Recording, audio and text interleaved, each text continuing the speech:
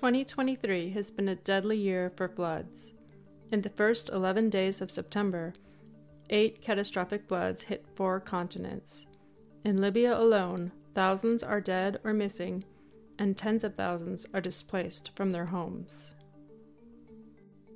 People ask, what's the role of global warming in the increased rainfall and flooding we've seen this year? Here's one key a warmer atmosphere holds more water vapor.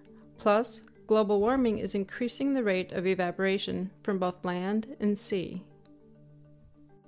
So, due to global warming, there's more water vapor in Earth's atmosphere today than there was in the past, and what goes up must come down.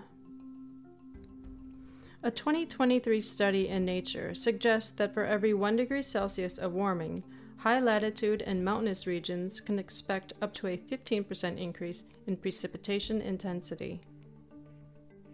What's more, in this map of the Northern Hemisphere, the darkest blue areas can expect up to an eightfold increase in future rainfall extremes. And how can we adapt to this new reality? Here are some possibilities. Update infrastructure to withstand flooding. Invest in new engineering to protect communities. Leave room in reservoirs to minimize flood risks downstream.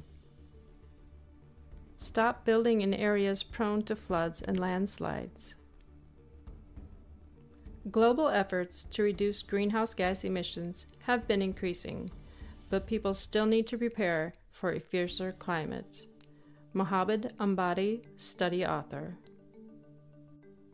If you enjoyed this video, please like, share, and subscribe.